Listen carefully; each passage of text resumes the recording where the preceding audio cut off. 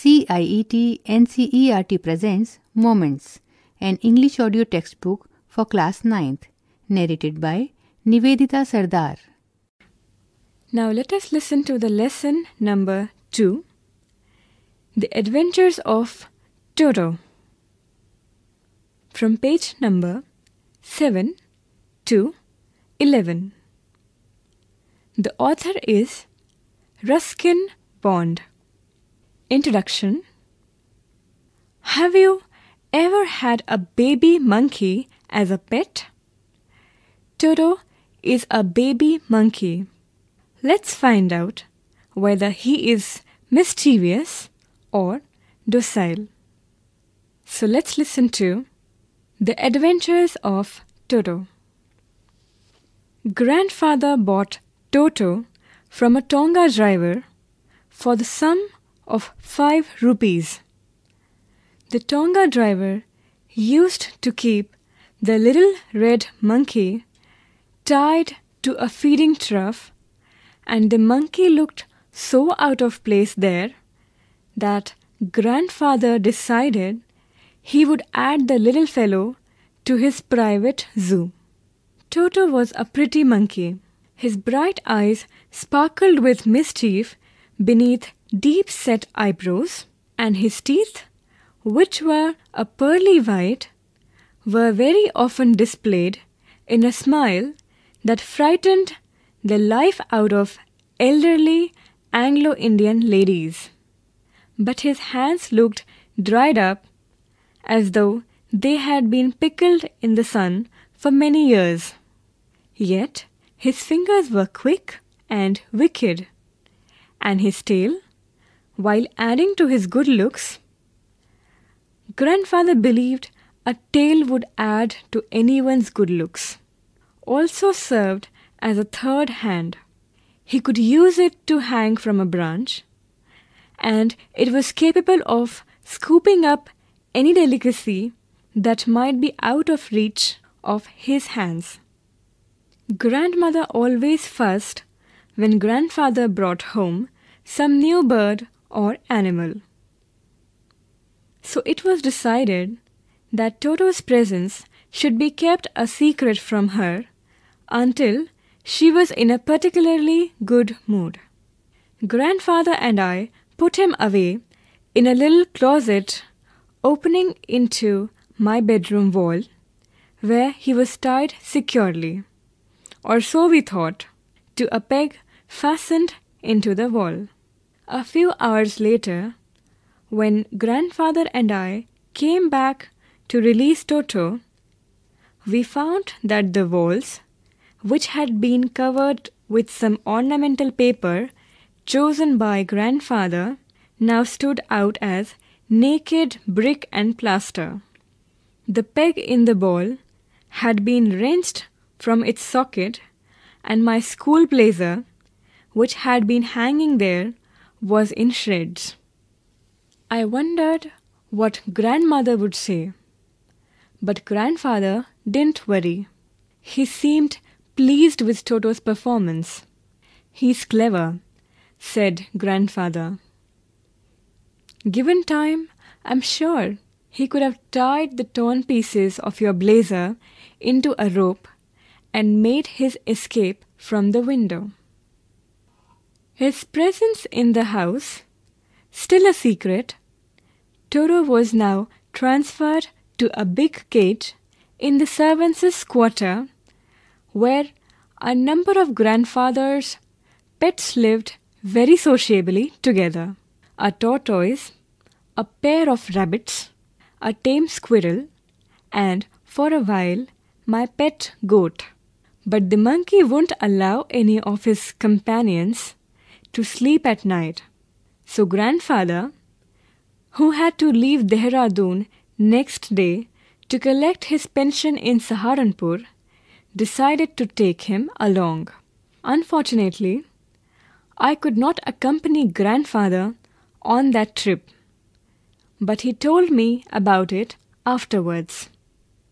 A big black canvas kit bag was provided for Toto. This, with some straw at the bottom, became his new abode. When the bag was closed, there was no escape.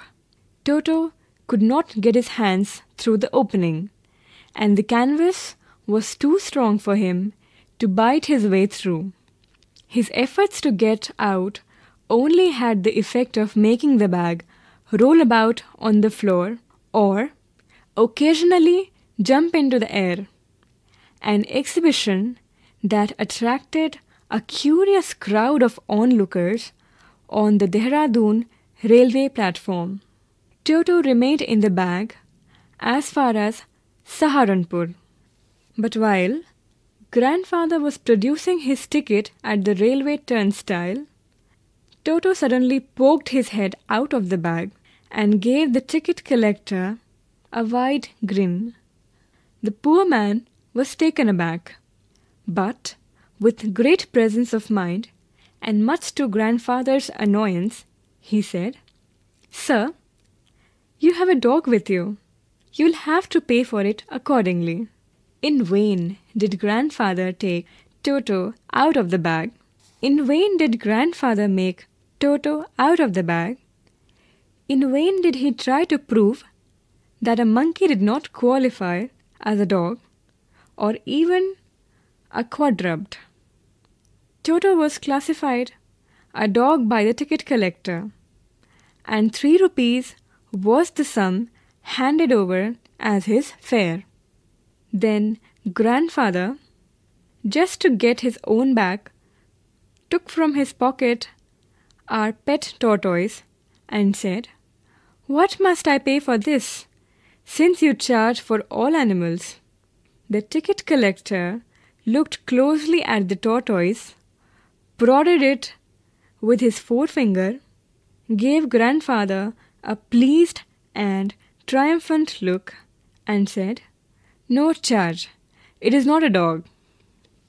When Toto was finally accepted by grandmother, he was given a comfortable home in the stable, where he had for a companion the family donkey, Nana. On Toto's first night in the stable, grandfather paid him a visit to see if he was comfortable. To his surprise, he found Nana, without apparent cause, pulling at her halter and trying to keep her head as far as possible from a bundle of hay.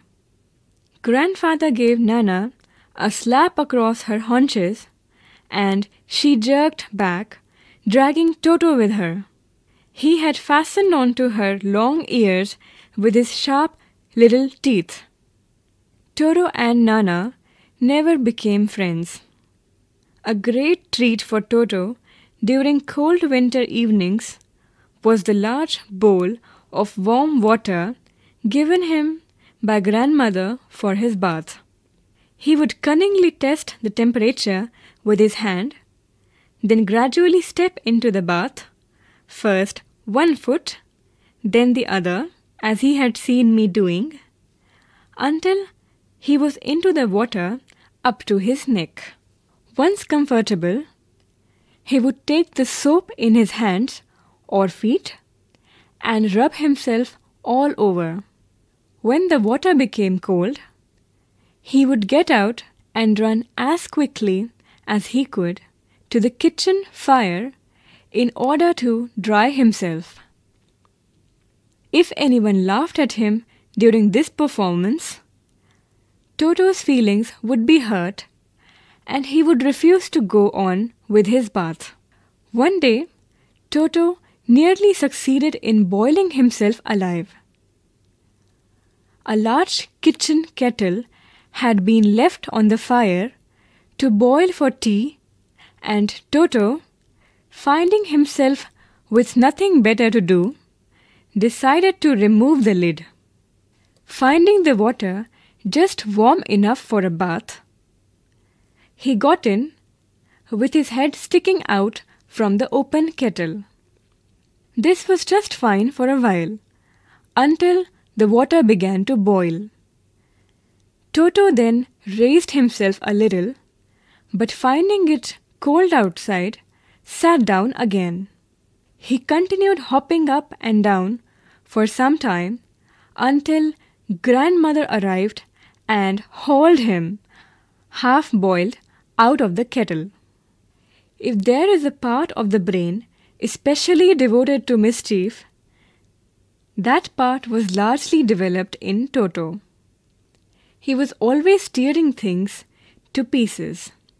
Whenever one of my aunts came near him, he made every effort to get hold of her dress and tear a hole in it. One day, at lunchtime, a large dish of pulao stood in the center of the dining table. We entered the room to find Toto stuffing himself with rice. My grandmother screamed, and Toto threw a plate at her. One of my aunts rushed forward and received a glass of water in the face. When grandfather arrived, Toto picked up the dish of pulao and made his exit through a window. We found him in the branches of the jackfruit tree, the dish still in his arms. He remained there all afternoon, eating slowly through the rice, determined on finishing every grain. And then, in order to spite grandmother, who had screamed at him, he threw the dish down from the tree and chattered with delight when it broke into a hundred pieces.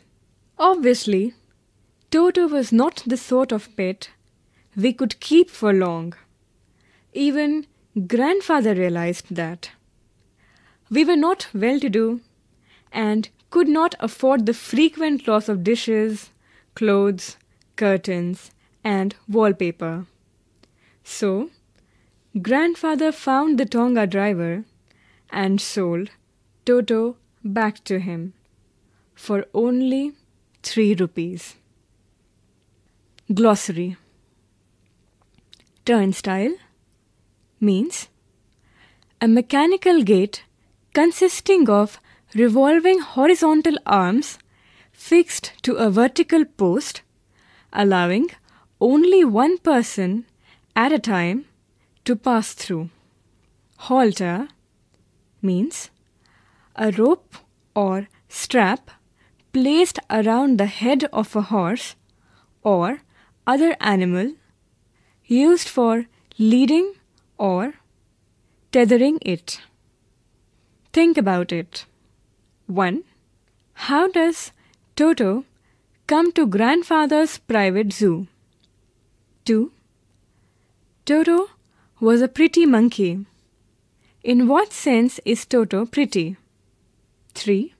Why does grandfather take Toto to Saharanpur and how? Why does the ticket collector insist on calling Toto a dog? 4. How does Toto take a bath? Where has he learned to do this? How does Toto almost boil himself alive? 5. Why does the author say Toto was not the sort of pet we could keep for long? Talk about it. Do you have a pet? Is your pet mischievous? Tell the class about it. Suggested reading My Family and Other Animals by Gerald Durrell. Grandfather's Private Zoo by Ruskin Bond.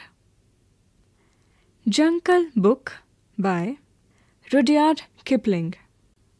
Moments. You were just listening to this English audio textbook for class 9th, narrated by Nivedita Sardar. Technical direction Satish Lade. Sound recording Amita Bhatti and Bati Langlingdo. Assistance in production Dao Dayal Chaturvedi. Produced and presented by Ramesh Rani Sharma.